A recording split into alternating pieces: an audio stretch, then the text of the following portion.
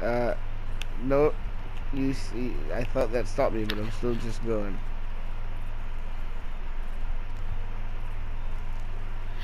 Maybe if you abandon the posse and kill me. Oh, there you go. Try it. Let me see if I can break free.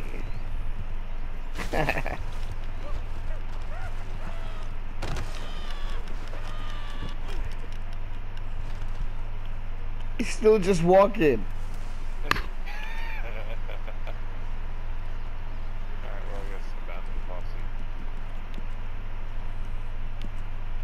Yeah.